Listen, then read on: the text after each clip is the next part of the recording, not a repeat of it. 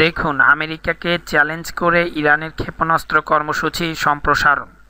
সম্প্রতি ইরান মহাকাশে স্যাটেলাইট বহনকারী রকেট পাঠানোর ঘটনায় দেশটির ছয়টি কোম্পানির ওপর অর্থনৈতিক নিষেধাজ্ঞা চাপিয়ে দিল আমেরিকা, আর তাতে চরম ক্ষুব্ধ হয়ে ইরানের হুঁশিয়ারি, কোনো শক্তি তাদের দমাতে পারবে না। একদিকে যেমন মিসাইলের উন্নতি করা হবে, অন্যদিকে আবার এমন আধুনিক রকেট এবং ইঞ্জিন নিয়ে পরীক্ষা নিরীক্ষা চলবে বলে পাল্টা জানিয়ে দেয় ইরান।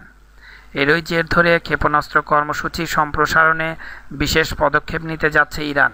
পরিস্থিতি যেদিকে গড়াচ্ছে, তাতে তেহরান, ওয়াশিংটন সম্পর্ক আরও তলানিতে ঠেকবে বলেই মনে করা হচ্ছে।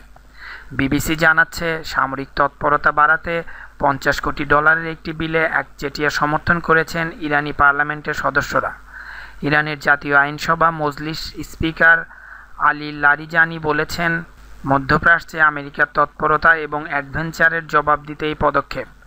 এর পরিণতি ঘিরে আলোড়িত দুনিয়া। কারণ মিসাইল পরীক্ষা ও পরমাণু কর্মসূচিতে ইরানের অবস্থানে ঘোর বিরোধী আমেরিকা। তাতে তোয়াক্কা না করেই উত্তর কোরিয়ার স্টাইলে এবার ইরান সরকার ক্ষেপণাস্ত্র সম্প্রচারণে জোর দিতে চলল। গত জানুয়ারিতে একটি দূরপাল্লার ক্ষেপণাস্ত্র পরীক্ষার পর আমেরিকা জুলাই মাসে ইরানের ওপর নিষেধাজ্ঞা বসায়। পারমাণবিক অস্ত্র কর্মসূচি বন্ধের শর্তে অর্থনৈতিক নিষেধাজ্ঞা তুলে নেওয়ার ব্যাপারে দুই হাজার পনেরো সালে বিশ্বের ছয়টি দেশের সাথে ইরান একটি মীমাংসা চুক্তি করে। তবে মার্কিন প্রেসিডেন্ট ট্রাম্প এই চুক্তির ঘোর বিরোধী। For latest news, please subscribe my channel. Thank you everybody.